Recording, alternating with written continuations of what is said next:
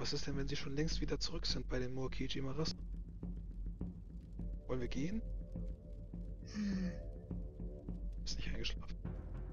Was, wenn sie es nicht, wenn sie noch nicht raus sind und wir gehen einfach und lassen sich hier? Wie lange geben wir ihnen denn noch? Ich weiß nicht, haben sie dir gesagt, was passiert, wenn sie dir kein Zeichen geben, wenn was schief läuft? Nein. Sollst du dann einfach so den Luft, den, den Turm sprengen, oder? Aber Ah, ich sitze doch jetzt hier nicht zwei Tage im Gebüsch. Lange warten Aber wir wenn wir einfach so den Turm sprengen, dann könnte es sein, dass sie auffliegen und dann ist alles, dann sind sie alle in Gefahr. Vielleicht warten sie einfach nur auf ein Zeichen von uns. Ja, warum sollten sie auf ein Zeichen von uns warten? Wir sollten auf ein Zeichen von ihnen warten. Ja, aber wenn sie uns keins geben, wie lange willst du hier noch warten? Keine Ahnung, glaubst du, ich habe sowas schon mal gemacht? Ich will hier überhaupt nicht sein. Keine Ahnung. Ich, ich weiß ja nicht, wie, wie viel. Wie viel Kraft hast du? Ich meine, wenn du diesen, diesen Turm da kaputt machst, hast du genug Kraft, dass wir uns verstecken können, dass du eventuell dich noch verteidigen kannst oder fällst du dann einfach um? So was habe ich nämlich auch schon mal gesehen.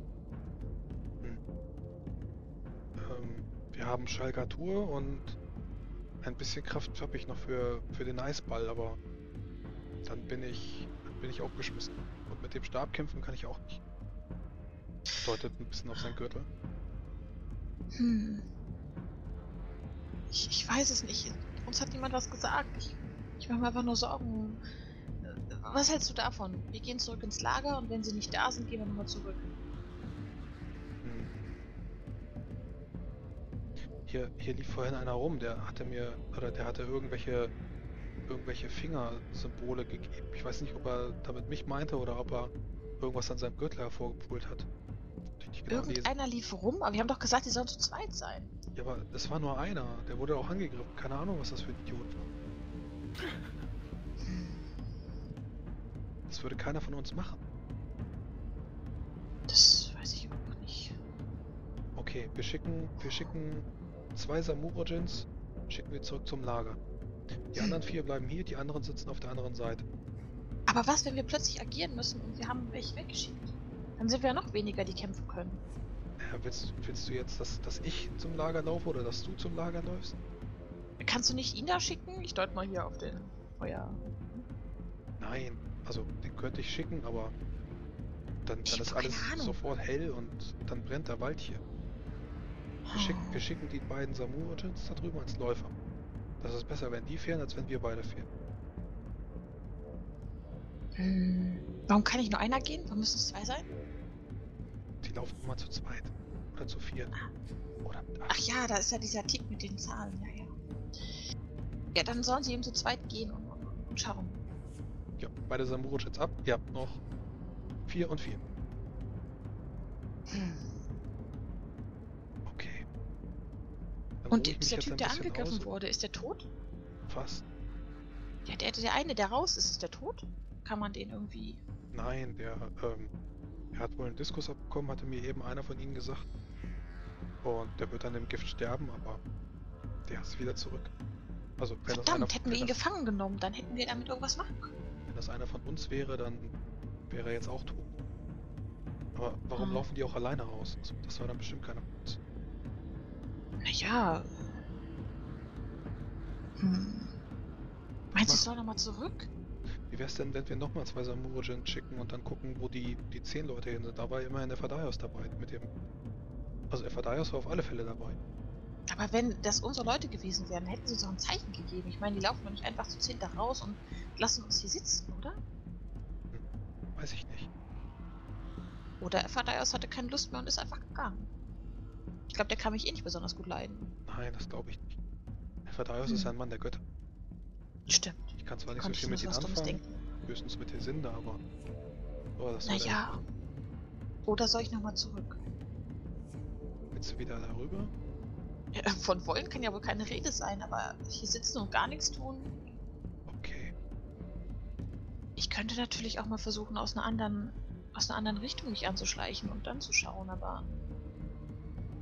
Hm, Versuch da Das über die Felsen dauert ganz schön lange. Ich bleib hier. Ich habe den Befehl bekommen und die erwarten mein Zeichen. Das muss ich eben. Also wenn es soweit ist, dann muss ich hier sein. Äh, kurze OT-Frage nochmal, Frosty. Wir hatten uns ja schon das ganze Gelände angeguckt. Äh, außer den Felsen gab es noch irgendeine Stelle, wo ich gut und unbemerkt hätte anschleichen können? Also meinetwegen kannst du von überall runterklettern. Okay, weil ich habe keinen Bock schon wieder den ganzen, weißt du, durch den ganzen Graben zurück und dann Nein, also du kannst jetzt ja eh, dadurch, dass du jetzt keine Behinderung mehr hast, durch das Entdunkeln Mhm. kannst du auch gut überspringen über den Graben. Dann pischst du dich aber hier über die Straße rüber, irgendwie in der Mhm. Dunkelheit und dann gehst du hier über den Graben rüber, das geht schon. Du kriegst es dann hin, Okay. wenn du alleine bist. Ne? Einfach rüberspringen mit einer Athletikprobe und dann hochklettern. Da, dann kannst du eben auch von hier oben kommen, das ist okay. Okay, ja, dann würde ich nämlich mal darüber. Dann eine Kletternprobe, eine Athletikprobe und dann stehst du drüben. Moment, ich würde einmal noch ein Zeichen. Äh, Kasim, ich kletter jetzt darüber. Wenn irgendwas nicht in Ordnung ist oder ich dir dieses Zeichen gebe, ich würde mal so die, die Hände an die Ohren machen. Siehst du das im Dunkeln? Äh, das was, was, was genau tust du jetzt? Ich möchte darüber und wenn ich irgendwie sehe, dass irgendwas nicht in Ordnung ist, will ich ihm vor da drüben, wo ich bin, ein Zeichen geben, dass er da den, Luft, den Turm sprengen kann im Notfall. Diesen Ich will ihm einfach nur ein Zeichen, ja, ich will ihm einfach nur ein Zeichen geben, wenn ich irgendwas mache. Also wenn ich irgendwie in Gefahr bin oder so, weil ich wurde da jetzt auch rüber. Hm. Das sind 100 Meter, je nachdem, wo 70 Meter im Dunkeln schafft er das nicht. Okay. Ja, verdammt. Na, Ja, ähm, während du dich da mit Kasim absprichst, können die Mhm. anderen im Inneren sehen, wie Osko an diese Kiste herantritt.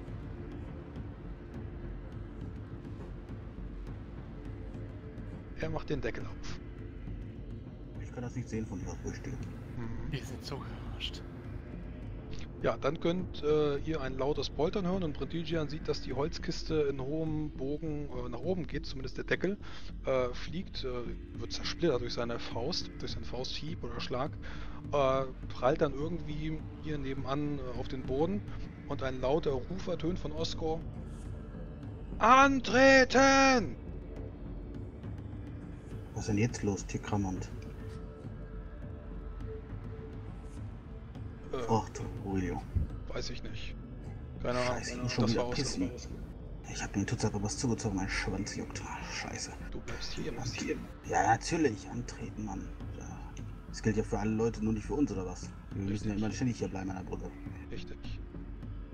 Ja, Brentigian läuft hin und steht stramm. So wie er das schon mal gesehen hat.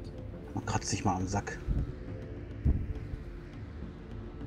Ja, Perdido ziemlich schlecht gelaunt. Kommt auch heraus. Das äh, Tor öffnet sich und der Rest der Endurium Guard ist wieder da.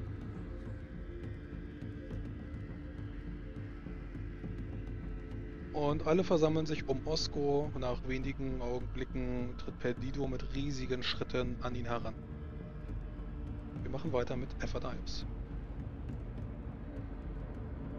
Das Wasser glitzert leicht vor dir, immer noch silbrig. Du kannst gerade sehen, wie sich Hock ins Gebüsch duckt und äh, dort verschmilzt mit dem, mit dem Schatten, mit dem Busch. Ist quasi nicht zu sehen und gut versteckt. blicke auf die Wasseroberfläche und sehe dort dann die Reflexion des Vollmondes über mir. Für einen kurzen Moment äh, vergisst er Verdaus alles um sich herum. Der volle Mond. Mal Maras. Und dann in seinem Blickfeld, wo er immer dieser Mond riesig geprangert hat, plötzlich blinkt einer der Sterne irgendwie neben dem Mond auf. Tex. Wir eine List. Gut. Scheiße, ich muss zurück. Und äh, dann wird er sich auf den Weg zurück ähm, zum, zum Rest der Amot-Gardisten machen. Und unterwegs möchte ich eine Liturgie wirken oder ein Stoßgebet. Ja. Im Namen meines Herrn Effert bitte ich dich, listenreicher Fex, in diesem Moment schenke mir etwas von deinem Glück. Ich brauche es. Wir brauchen es. Ähm, ich würfel mal kurz eine Probe ohne Modifikatoren. Äh, ja. Dann habe ich jetzt ähm, den Spielrunden lang Glück. Ja, du hast nicht Äh. aufgestuft, also nur du hast Glück. Genau, ja, ist auch, ja. Ja, Ich also hätte ja sein können, dass du jetzt nach und nach den anderen Matrosen auf die Schultern klopfst. Aber, äh, nee, okay, dann hast nur du Glück.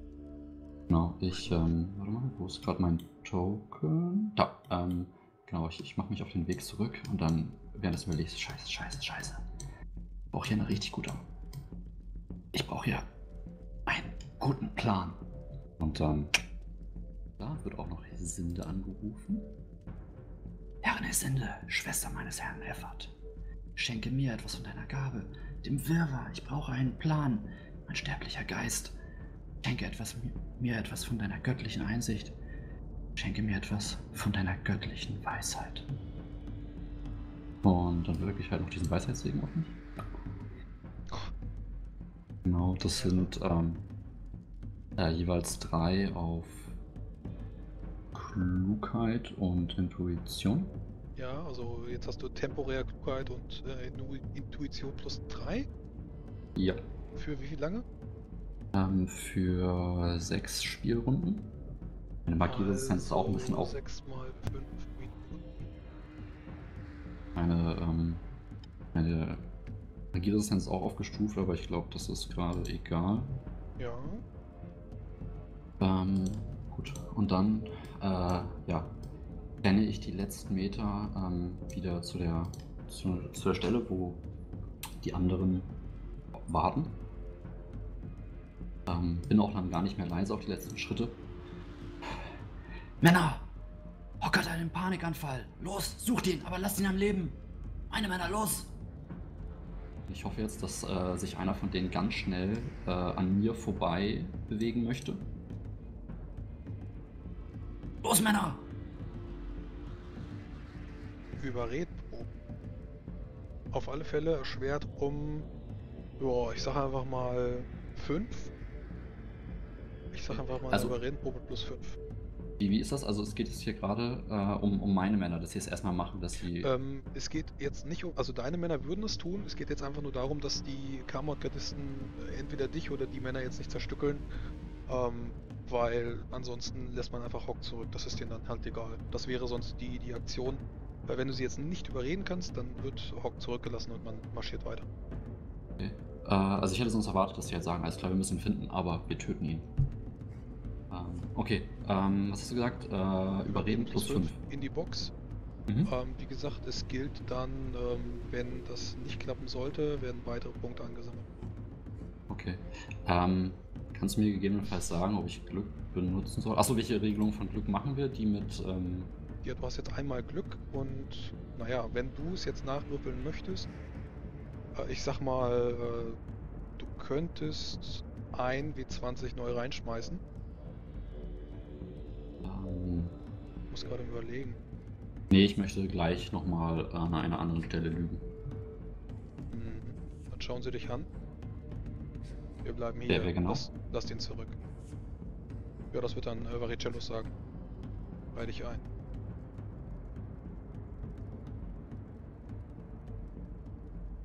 Er wird nicht zurückgelassen. Beziehungsweise, Drei, wir werden ihn finden. und ein. wird- Pass mal auf. Unteroffizier, du hast den gleichen Rang wie ich. Das ist einer von meinen. Und wenn er sich nicht zusammenreißen kann, dann wird er umgebracht. Bruder, lass mich das regeln. Mich und meine Männer, die kennen ihn. Ich habe einen Distriktbefehl von Perdido und der geht vor. Und es interessiert mich nicht, wenn du irgendwas anderes sagst. Wie ist dieser Befehl? Scratch-Schlacht. Wir sind ja auf dem Weg dorthin, aber das ist ja eine unvorhergesehene Situation. Was würde denn Perdido in dieser Situation machen? Würde der hier einfach jemanden desertieren lassen? Hm. Keine Ahnung. Keine Ahnung. Ah, was natürlich Perdido nicht. Wenn sich dieser oh, Feigling nicht zusammenreißen kann und einreihen kann? Ich weiß, hier im Dschungel, das ist scheiße gefährlich. Da kann man auch Angst kriegen, aber man muss sich zusammenreißen. Wir sind doch alle Männer. Ihn mal eine. Und wenn er sich nicht... Auf Gehör. Alles klar.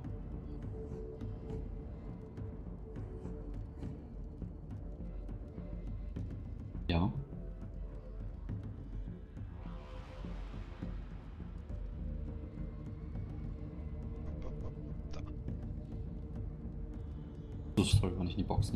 Äh, nee, ist, ist okay. Ähm, äh, Im Gegensatz zu den anderen kannst du etwas hören. Irgendetwas ist bei euch, um euch herum. Irgendetwas, was über den Boden schabt, kriecht. Und du kannst leises zischen.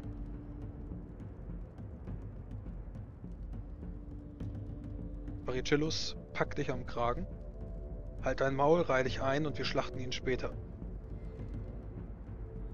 Ja, wir schlachten ihn, wenn wir ihn gefunden haben. Und äh, ich möchte ihn dann äh, schubsen, dass er hinten überfällt. Ähm, Warte Okay. mal. Wie Wenn sich wir jetzt das? die Kamord-Garde duelliert. Ja, ähm, ist auf alle Fälle dann eine Raufen-Attacke. Mhm, war kurz nicht. Und äh, er ist davon sehr überrascht. Okay. Überrascht heißt minus 5, ne? Äh, eigentlich ist sogar eine Minus 8. Also durch den Patzer dann jetzt.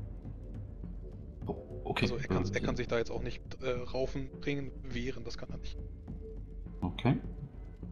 Also du kriegst jetzt eine Minus 8. Das ist sehr überraschend.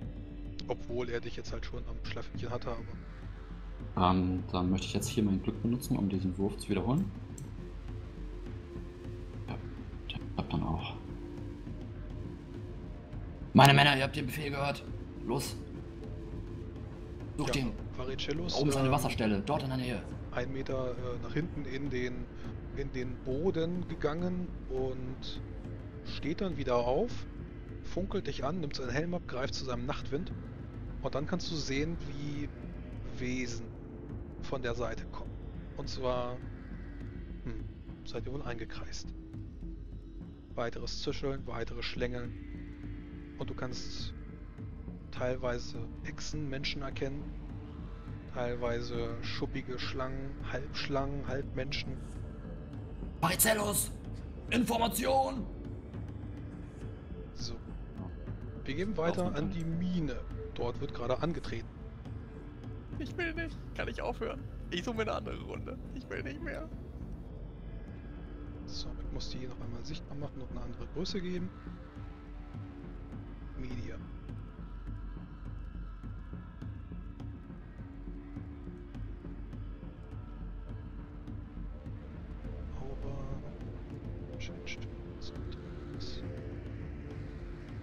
Die dritte Fraktion, Mexican Standoff.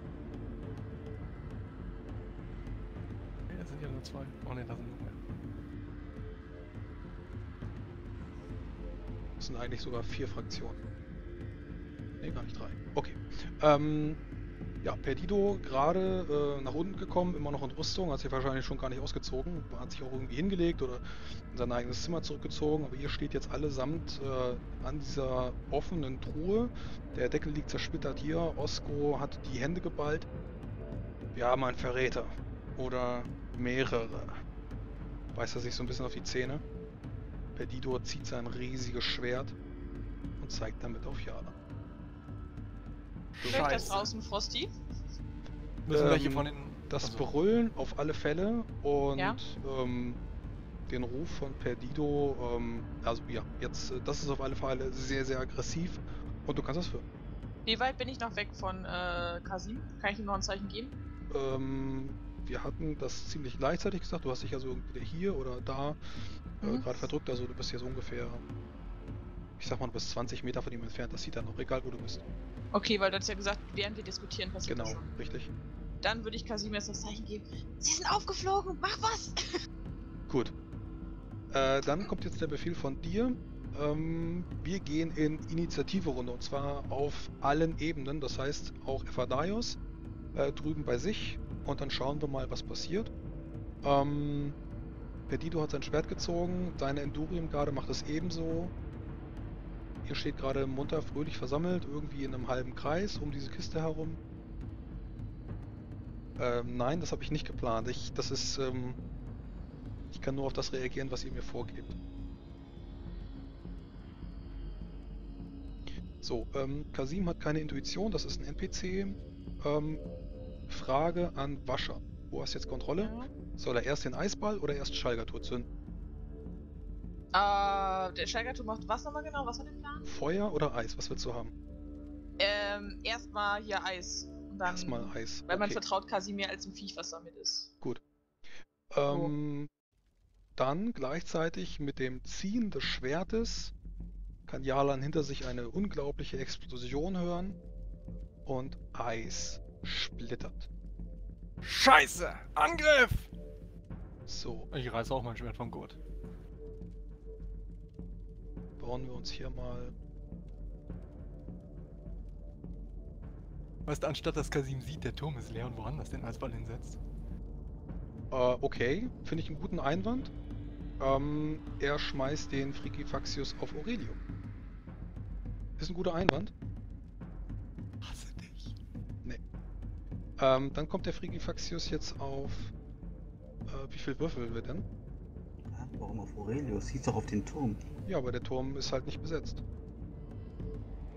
Am Turm steht halt keiner. Das sehe ich nicht. Okay, ja. Dann kommt er jetzt auf mich. Ist okay, ich werde kein Spiel verbrennen dafür. Ja, es sind nur 3W6. Ne, 5 w 6 plus halbe Sternchen. Möchte, möchte jemand äh, das. Ja, aber äh, Frosty, im Ernst, jetzt habe ich das nicht gesehen? Also ich werde dir noch nicht sagen, da sprengt den leeren Turm. ich bin ja nicht blöd, ich bin ja, unterwegs, okay, also das, doch. das ist jetzt, das ich ist noch jetzt, das das, Lager das müssen wir, noch das müssen wir jetzt halt diskutieren. Am, An der Ja. Brücke stehen zwei Kamot-Gardisten, unbekannter Herkunft. Der Turm, Ja. also beide Türme sind leer. Äh, wir hatten doch ausgemacht den Turm, damit wir sicherstellen können, dass keiner von uns draufsteht, oder? Okay, also Weil ein wir Punkt ja eben alle Turm. gleich aussehen. Also ich denke einfach, es ist doof, weil Janus nicht da ist und ich habe keine Ahnung von den Zaubern, deswegen ist es ein bisschen doof, wenn ich jetzt da Janus Zauber steuern soll. Alles klar, dann gucken wir mal nach. Wie sieht das aus mit der Entfernung? Wie, wie klingt denn der Frigifaxius ab? Äh, der, der Frigisphero. Das sind 9 Meter zu Rondrigo. 5 und dann 10 oder wie ist das? Äh, Keine minus Ahnung. 1 pro Meter. Minus ein äh, Würfel pro Meter, man fängt Okay. dem niedrigsten Würfel an. So, dann mache ich jetzt erstmal 5W6 plus was, hast du gesagt? 5 w 6 plus halbe Sternchen. Plus halbe Sternchen. Dann sage ich einfach mal, Guckt, wie viele Punkte er hat und dann äh, schätzt einfach die Sternchen oder würfelt einmal. ja, ich muss jetzt gerade auf den Remote nochmal connecten. Dauert jetzt alles ein bisschen. Dann würfel ich einfach mal seine Sternchen aus.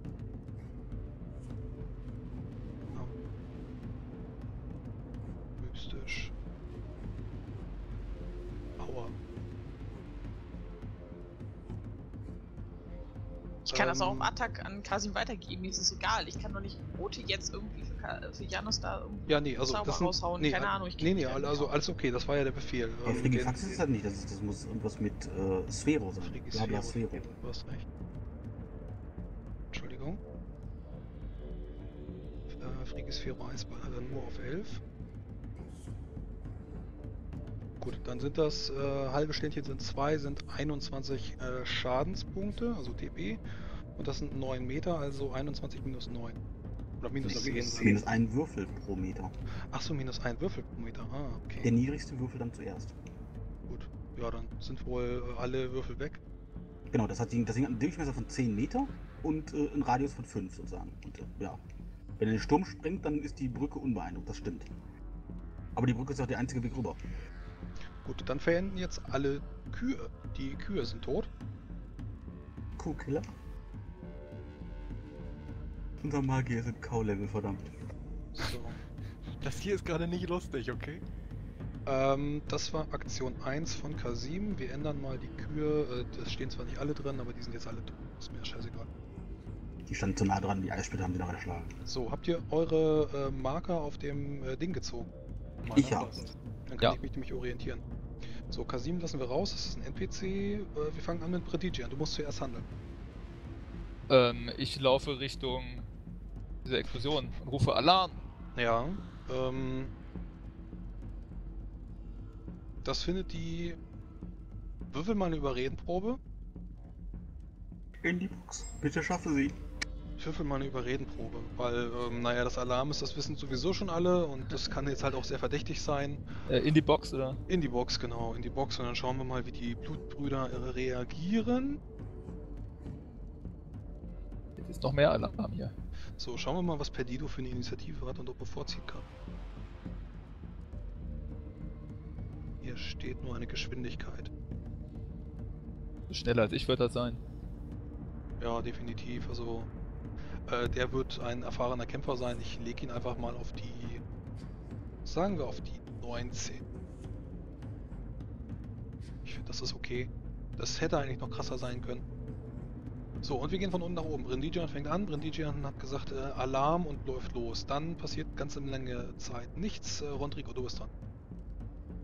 Ja, Rodrigo will den Kameragardisten neben sich überreden. Er sagt, scheiße Mann, wir müssen in Deckung gehen, fliegt uns alles um die Ohren, was ist das für eine Kacke? Mhm, überreden, wieder in die Box. Ich erschwere sie dir um 5. Dann ist, ähm, wir machen erst mit Wascher weiter. Wascher, du bist dran. Ja. Äh, sehe ich, habe ich Rodrigos Stimme gehört? Wo ich bin? Äh, ich habe das wieder laut gesagt, aber... 70 Meter. Nee, da ist gerade eine ganze Menge Chaos. Da kommen jetzt auch weitere Stimmen mit rein. Das wirst du nicht schaffen. Okay, dann laufe ich trotzdem mal in die Richtung. Einfach um besser sehen zu können. Ich bin ja noch außen vor, also insofern passiert mir Mhm, jetzt okay. nichts. Ich komme 20 Meter, hast du gesagt, erstmal, ne? Gen ja, solltest du, also Geschwindigkeit mal 2 oder mal 3, wenn du sprintest. Geschwindigkeit sollte 8 sein und 8 mal 3 sind dann 24. Hier kann ich mich denn nicht setzen. Kannst du? Set Talk Mode. So, jetzt, ja, mein äh, Dings hat. So, Ja. dann gucken wir mal, wie das bei Efadaios aussieht. Efadaios, äh, ich habe dir hier die äh, Leute angezogen und da kommt jetzt auch auf alle Fälle ähm, Mhm. einer von diesen Echsenwesen äh, fängt an mit einer Kristallkugel zu zaubern und die fängt an zu leuchten. Ähm, Zaxel, der Schlitzer, läuft auf Potro zu, äh, auf Dynar zu. Krishn Mhm. läuft auf Feyarion zu. Isamaru auf den. Snofre. Maru. Okay. Was tust du? Azelios, dort ist der, dort ist der Anführer. Und äh, ich äh, deute in die Richtung. Mhm. Genau. Dort ist der Anführer. Okay, mit dem Namen. Das ist dann zwei freie Aktionen. genau. Ähm, viel kann ich mit einer ganzen Aktion sagen.